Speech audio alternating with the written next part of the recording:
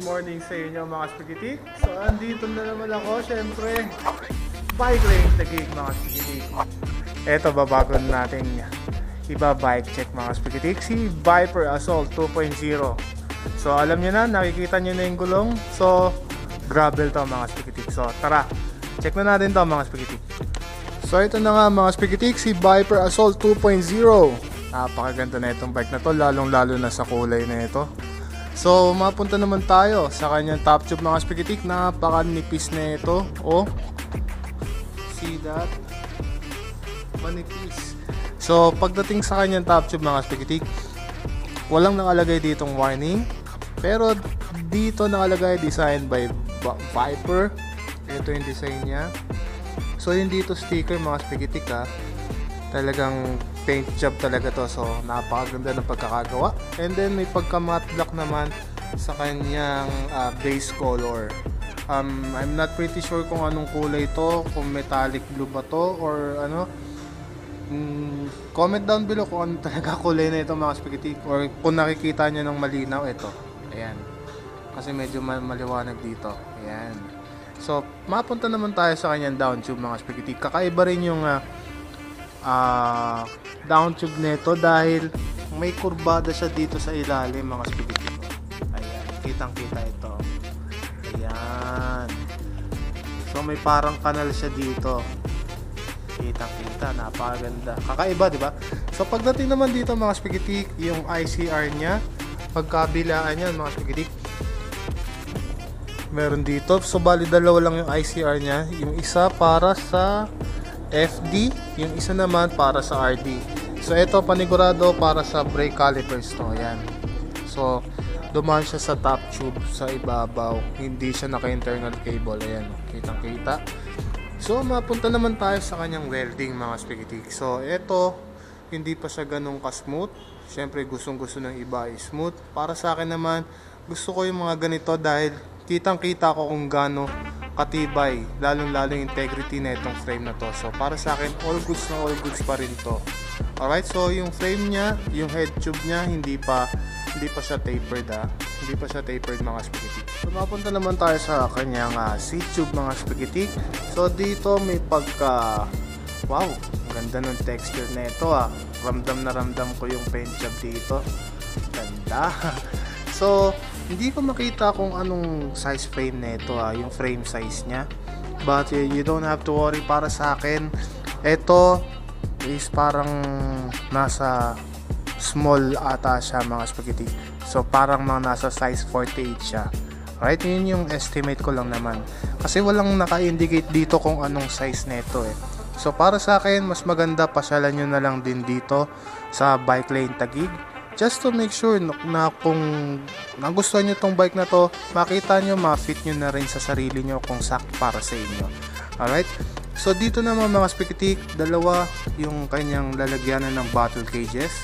So pagdating naman sa kanyang FD mga spaghetti, L2R2 na yung ginamit sa kanya. Alright, so it means ito talaga nakatubay ito. So ang chainring na ginamit sa kanya is 50. Tapos yung maliit niya is 36 feet. Alright, nakatubay na yung mga spaghetti. So ito naman, hindi pa to naka-hollow tech ah. Viper na rin yung ginamit sa kanya. So most likely ito mga bakal to. Testingin natin. Uy, nagkamali ako doon mga spaghetti alloy na to mga spaghetti so it means magaang magaang na magaang na rin to para para sa mga gagamit nito so syempre alam ko papalitan nyo rin to kasi syempre gusto nyo yun naka-hollow tech ba so yun na lang siguro yung papalitan nyo dito. Palitan nyo yung buong crankset then BB yun yung mga papalitan nyo dyan kung gusto nyo mag hollow tech. So marami na rin naman dito sa market. Dito rin sa bike lane tagig. Meron din mga option dito kung gusto niyo ng crankset na para dito. Available yan dito sa bike lane tagig. So sa chainstay niya naman ang ginamit sa kanya ay ang ginamit sa kanya nakalagay dito is Viper may, may paint job dito ang ganda ng decals niya And then sa chain niya naman ang ginamit is Tech Tech ang ginamit sa kanya then syempre pagdating naman sa kanyang RD mga spaghetti L2 R2 na yung ginamit sa kanya. Okay? So ito naman mga spaghetti. Etong bike na to is hindi pa siya naka true axle, hindi pa siya naka QR. So Ito, ito siya. Ayan na lang yung mga papalitan nyo dito mga spaghetti. So si so si Viper Assault 2.0 1, 2, 3, 4, 5, 6, 7 naka 7 speed siya mga spaghetti. So ito naka check natin naka 2080 11 by 2080 so ito mga spaghetti ito plato to mga spaghetti kung saka pwede magmerienda ng pansit alright? Joke lang. So ito natatanggal naman to. Tanggalin mo lang to. Yung iba kasi binabasag na lang to eh. Dali na yan. Syempre ito protection to mga spaghetti para sa pag naglalagay ka ng uh, chain loop dito hindi siya tatalsik dito sa kanyang rotor. So pagdating naman sa tires na ginamit sa kanya is Saturn ring. So this is 700 by 38C. Alright, so alam nyo na, syempre gravel bike to. Pagdating naman sa kanyang knobs, ito napakasimple.